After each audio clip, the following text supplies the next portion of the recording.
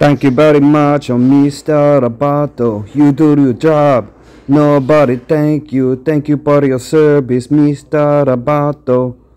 You do a job, very dirty, dirty job. That's a Styx song from 1983. And I wouldn't be making this video if I would have been able to add an extra link to this podcast I mentioned. I'm not just making this up. Uh, I found it today. Uh, I found out about this stuff like in my home feed. I think last week there was a guy on YouTube who has a channel as a military recruiter, and someone asked him in the chat, "How uh, should I?" Well, he was a military recruiter recruiter. He was recruiting recruiters for recruiting people into boot camp into the military, the army, and everything else. And it's very ironic, similar to some months ago. I thought of what if I was, what if I made insurance policies for insurance policies so I could become an insurance insurance salesman. And I looked it up going back 100 years and found out that I might be onto something with that, something called insurance insurance. So if someone has a house or a car insurance policy, why not get that policy insured? Anyways, um, so I discovered this whole huge market of people uh, some year, you know, two years ago or so when I searched the movie, when I searched the keywords, how to escape the military. And that's wouldn't that be like the question that someone's like like the enemy of a US military or any military really wouldn't that be what they'd be asking themselves how do I escape the military but what's so strange is within months of people joining they're asking themselves that the only thing that I can you know I should give a pause and give a moment of silence or something but I do this week and see let's see who's trying to escape the military this week um, this is not working out like I'd hoped. Um, let me change the words a little bit. How how to how to quit the army. Like that movie In the Army Now with Pauly Shore. End it. Okay, right? That's not searching this week, but if I search this month or this week, there's always new people and they don't realize that me, someone who's like has nothing to do with it, is watching, and it's sort of ironic. Anyways, yesterday when that tornado came uh, in the morning, I was awake. I was just laying in bed, and so I was like, "Wait, why are they doing the tornado test this early? Because they only do it at 1 p.m." And uh, long story short, the Pink Floyd song from the Dark Side of the Moon album called "On the Run." It is like the third song of the album. It sounds just like a tornado. I think it's supposed to simulate that scene in uh, The Wizard of Oz of "There's no place like home." I'm like clicking my clicking my feet. There's no place like home. There's no place like home. Anyways, what I should have said in the video that I recorded yesterday was from Kylie Minogue's video. I want to go out dancing. And I think that's really funny. I didn't think at the time to say that.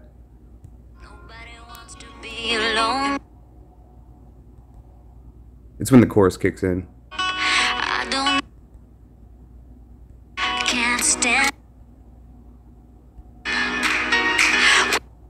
When I go out, I want to go out dancing. So what I notice is when she says your arms, she originally this is my mind read. I'm like a celebrity mind reader. Uh, because I read so much and I write so much, I sort of know. When she said your arms, what she was saying was, what she was thinking was your majesty. That's what they say in England, your majesty. And so when she says it in this song, your arms, just imagine she's saying your majesty, and it makes more sense. Want to go out dancing, right? When the tornado's on the way. And I don't know at what point unless someone has the lyrics linked that she says your arms but anyways yeah she's got some great music videos um, here's a whole playlist curated I suppose I could click that one see what else I've been listening to um, Love at First Sight.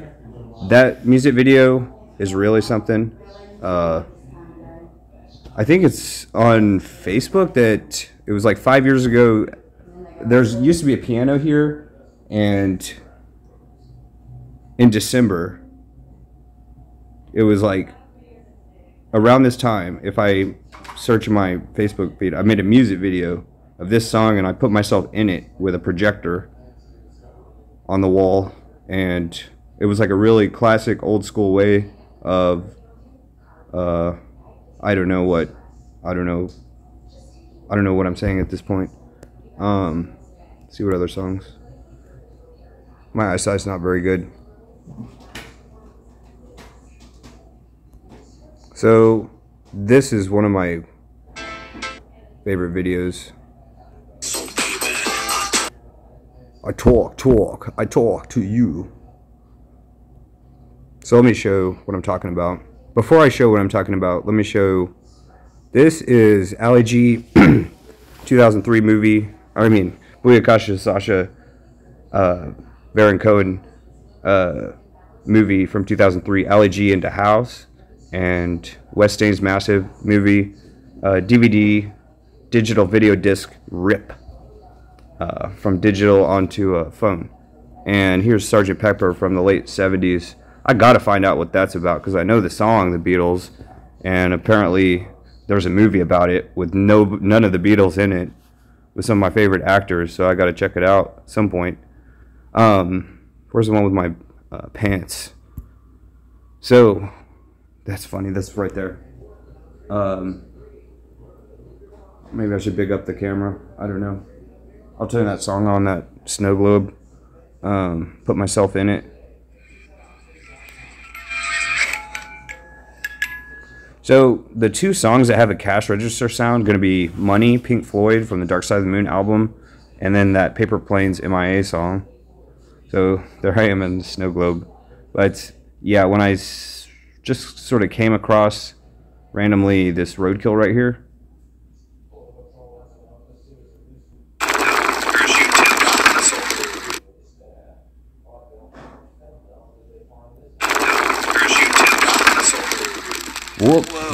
I had my camera. This is something. All right, so what I say here. I am, I am so sad. I'm gonna give you to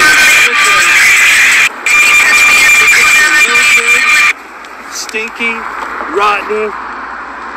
Uh, Keister off my property. Dirty Rotten Scoundrel. Steve Martin movie from around the year I was born. So I wondered maybe it was playing dead. I watched a documentary on opossums in America, and they play dead. They like secrete an ooze, like the Teenage Mutant Ninja Turtles Part 2 movie from the 90s, The Secret of the Ooze. They secrete an ooze, they lay down, and they start stinking and like open their jaw like they're dead. And so maybe it was playing dead, I thought. Until I got bad news. So, one of these videos, I, I think it was this one.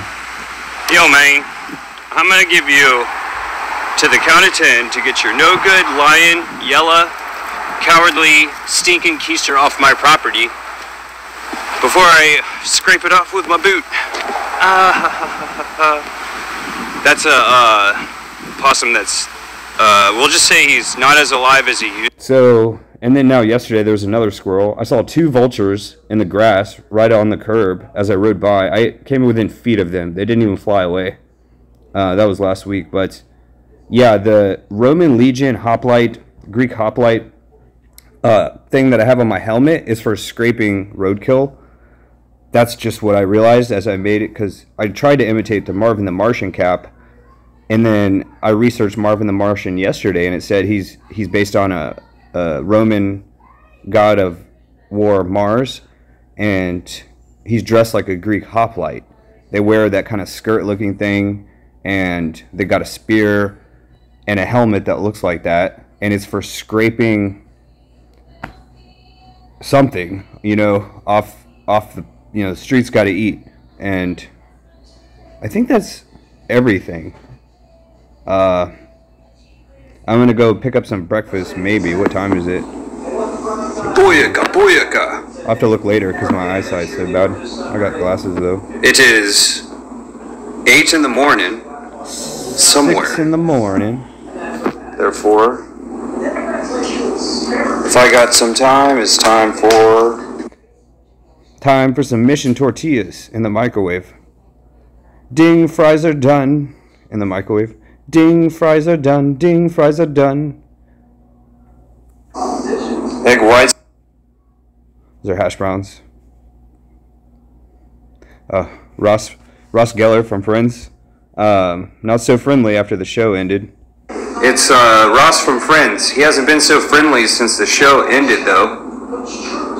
Unfriendly Ross from Friends, New York City. Your life is spinning out of control. Uh, it seems like you're always stuck in second gear. When it hasn't been your day, your week, your month, your decade, or even a dozen years, but I hate most citizens, but I love most government workers or government officials. They're not citizens, there's a difference. And it's the exact opposite for places outside of where I live. Foreignly, I love the citizens of foreign places I love citizens of foreign places, but I hate their government and their stupid faces. But dun, dun, dun. that's just how it goes. And I don't know. What a random vlog of random things. That's all. And that dar- darn tornado from yesterday, I had something to say today about it. It was something. But yeah, GameStop headquarters, Grapevine, Texas. Uh, the E1, those are, that's like a playful tornado. Um, it was it would be a shame. It was kind of shameful that it was so small. Um, if it was like an E5, like in that movie Twister with Jodie Foster. Oh, I forgot to do one thing. I forgot to show the podcast thing. Sometimes this this uh, icon is up in my notifications up at the top, and it's like, what is that icon? Is that some kind of like dating app? No, it's not. It's the Google Podcast app. And so here's the tribute episode. I'm only three minutes into it. It's more fun for me to just browse my home feed in YouTube, even if I'm not watching videos. Like, I'll listen to a podcast and just browse my home feed on YouTube, watch my own videos maybe with no sound, if that's possible. That's one of my most favorite things to do. That's one of my favorite things to do. Let's do it. Um, and that's a song from Walk Hard, uh, as in the I Would Walk 500 Miles song. Um, he says that in the in the song. And so for Christmas, I do Arnold Schwartz sings, for example, that 500 mile song. I would walk 500 miles and I would walk 500 more. And I'll be back to walk another 500 miles just to fall down at your door. Ba-da-da-da. Ba-da-da-da-da. So that's all. That's Arnold Schwartz sings. And he also does Electric Avenue. We gonna walk down to Electric Avenue. And that's it. And drive one electric car. That's all.